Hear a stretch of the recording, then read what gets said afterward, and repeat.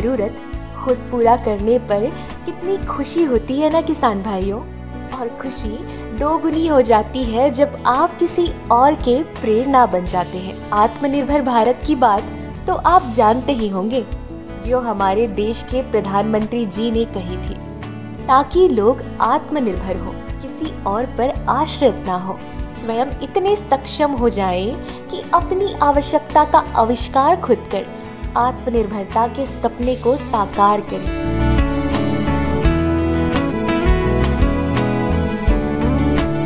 किसान भाइयों, जरा सोचिए, यदि हमारे देश, राज्य के किसान भी अपनी रोज़गार के साधन और खेती किसानी के लिए अपने कौशल के बलबूते पर कार्य करने लगे तो कितना अच्छा होगा।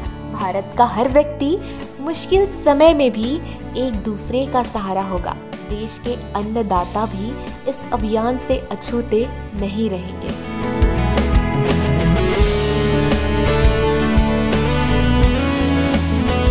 हमारे छत्तीसगढ़ राज्य के एक ऐसे युवा किसान हैं जिन्होंने किराए की ज़मीन पर आधुनिक खेती की है। अब आपके मन में ये सवाल उठ रहा होगा कि आधुनिक हो या वैज्ञानिक खेती, वो तो कई किसान कर रहे हैं। पर साथियों इनकी खास बात ये है कि ये आत्मनिर्भरता की राह पर चल पड़े हैं और हमारे लिए और तमाम किसानों के लिए प्रेरणा स्रोत बन चुके हैं। कबीर चंद्राकर एक ऐसे युवा हैं जो विदेश में पढ़ाई के दौरान तय किए कि वे कृषि जगत में छत्तीसगढ़ के लिए अपने कौशल शिक्षा और आत्मनिर्भरता से कार्य करेंगे। इंग्लैंड में जब वे भारत के ऊपर प्रोजेक्ट बना रहे थे, तब उनका ध्यान एग्रीकल्चर की ओर गया। उन्होंने बिज़नेस मैनेजमेंट की शिक्षा की दृष्टिकोण से देखा कि भारत का अधिकतर हिस्सा कृषि पर आश्रित है। जहाँ नई सोच और क्रमिक वैज्ञानिक तरीके से खेती की जाए तो कृषि जगत में चमत्कारिक उत्पादन की अपार संभावनाएँ हैं। भारत आकर युवा कबीर। अब युवा किसान भाइयों के प्रेरणा स्रोत बनने की राह पर चल पड़े और कृषि जगत की बारीकियों और पहलुओं के बारे में जानने लगे और ठान लिए कि हमारे छत्तीसगढ़ राज्य में यहाँ के वातावरण में ढलकर खेती करनी है। साथ ही नए स्किल्स के माध्यम से विभिन्न सब्जियों, फलों या फ़सलों की खेती करने के लायक वातावरण स्वयं निर्मित करना है।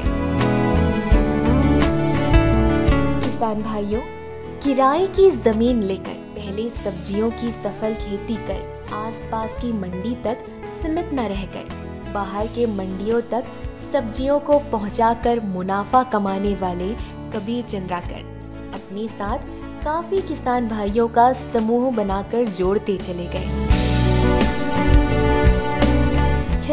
छत्तीसगढ़ के छोटे से गाँव मुजगहन से खेती किसानी की शुरुआत करने वाले कबीर चंद्राकर, इनकी सफलता की कहानी से तमाम किसान भाइयों को प्रेरणा ज़रूर मिल रही होगी।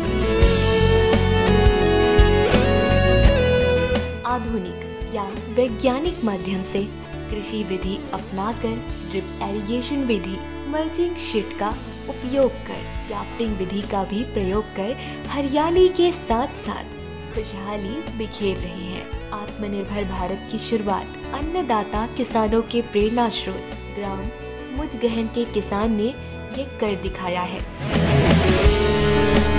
आज के युवा किसान कबीर चंद्राकर ने ड्रिप एरिगेशन विधि का भी सहारा लिया। समूह बनाकर कृषि विशेषज्ञों की सलाह, बाज़ार के हिसाब से उत्पादन, व्यापार कर सफल कृषि करना युवा किसान का ध्येय बन चुका है। किसान भाइयों, स्वयं जागरूक होकर हमें युवाओं को प्रेरित करना होगा कि वे खेती के महत्व को समझें। छत्तीसगढ़ राज्य के छोटे बड़े सभी गाँव के खेती हर किसानों को वक्त के साथ कदम से कदम मिलाकर चलना होगा। पुरानी विधियों के साथ साथ नए और अत्याधुनिक विधि को अपनाकर उत्पादन में वृद्धि करनी होगी। जैसा आज के हमारे किसान भाई कर रहे हैं। कबीर चंद्राकर जी, मिर्च की खेती, टमाटर की खेती, लौकी जैसे तमाम सब्जियों का वृहद मात्रा में उत्पादन कर रहे हैं और बाहरी राज्यों के साथ भारत के बाहर भी इन सब्जियों को भेजकर हमारे राज्य के नए युग के कृषक के रूप में उभर कर हमारे सामने आ रहे हैं। कृषि जगत में नई विधियों का स्वागत करते हुए स्पेलियर ट्रेलिसिंग सिस्टम फलों के सफल उत्पादन के लिए ट्रिपल लेयर बैगिंग माध्यम से उत्पादन का लाभ ले रहे हैं। किसान भाइयों, नई पीढ़ी के किसान हो या पुरानी पीढ़ी के किसान नई विधियों को अपनाने वाले किसान हो या पुराने विधियों को अपनाने वाले किसान अब वक्त है वक्त के साथ चलने का। पुरानी विधि के साथ साथ नई विधियों को भी स्थान देने का। ताकि हमारे किसान भाई ज़्यादा से ज़्यादा उत्पादन कर लाभ ले पाए।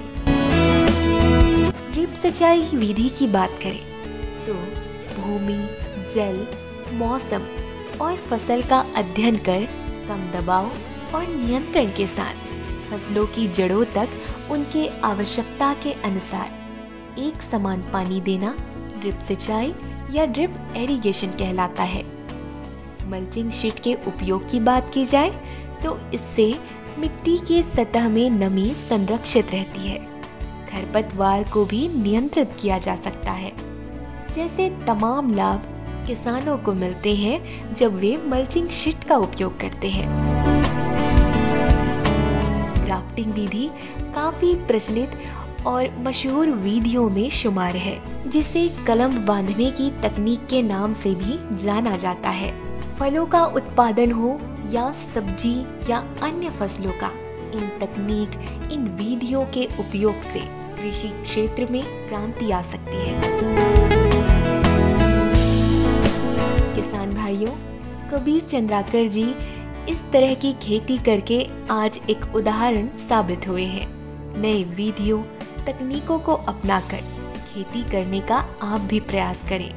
ये छोटा सा कदम भी आगे चलकर एक नए मुकाम की ओर हमारे छत्तीसगढ़ के किसान को ले चलेगा।